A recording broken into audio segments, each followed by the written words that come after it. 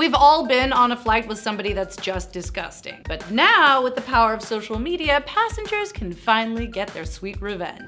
Welcome back to What's Trending. I'm Martine Bierman. Make sure to subscribe for more stories about people who get freaky in the sky. Stinky feet, disgusting eating habits, and people that are just downright dirty. Before social media, all you could do is really suck it up and bear it.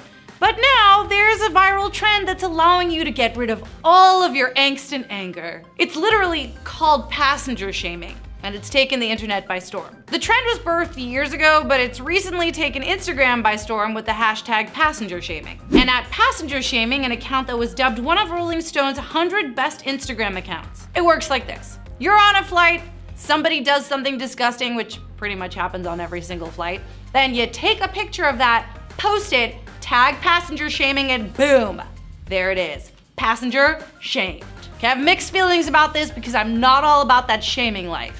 However, as we get through this, you will see that there's sometimes good reason for it. Like this post. Leaving a diaper in a drinking glass is probably something this passenger wouldn't do at home. Hello, it's three steps to the bathroom. Also, did you change your baby like in front of other Although, I will say, do airlines have really great spaces for parents to go and change diapers? If they don't, then, you know, I mean, you're really sticking it to the airline at that point, which unfortunately then rolls over to the passengers. But I feel for parents if that is the case. Unshamed. Unshamed. And this one. Anyone missing any false teeth? That has to be a mighty confusing one to walk away from a situation and be like, where did I, where did I leave my teeth? I don't know. That has to be hard. Like at some point, I don't know, next meal maybe you realize? You just not a smiler? I don't. And how about this one? Former flight attendant Shawn Kathleen says passengers often leave chewed gum in inappropriate places. Like the armrest? Seriously?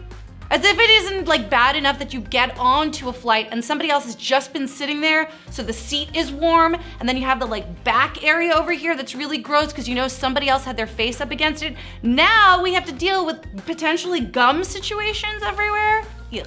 It's like really gross. Oh. Oh. And take a look at this pigsty left by God knows who. Ugh, some people are literally trash. If you wouldn't do it in your own home, don't do it somewhere else. And how about this guy, just letting it all hang out? So have airlines always been this horrible? Apparently not. And some are saying it's because airline travel's not really a luxury anymore, so people are not really treating it with respect. And seriously, who can blame them? Literally everything today is an add-on. I'm pretty sure we're gonna be paying for toilet paper squares really soon. Today, you have to pay if you want to eat on a flight. So you end up with a lot of irate and potentially grumpy people. You want clean aircrafts when you get off? Just feed people. But is this an excuse to behave badly? Airlines do not think so, and they're biting back. In 2017, Hawaiian Airlines fined a particularly bad passenger $100,000 for disrupting a flight from Hawaii to New York City. But passenger shaming isn't all bad, like this post featuring four flight attendants who delivered a baby mid-flight. Hashtag not shaming. And this little guy who got stuck between the seats mid-nap. Hashtag not shaming. Hashtag so freaking cute. Okay, again, not into any type of shaming in general. Um, I can go for the pictures that maybe don't have a person's face on them.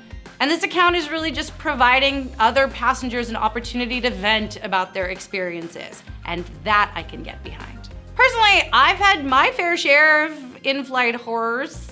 There was the time that this one passenger thought in a flight was a great time for her to start painting her nails. Or there was the time that a flight attendant spilled a whole soda in my lap and I did not have a change of clothing and it was a long flight.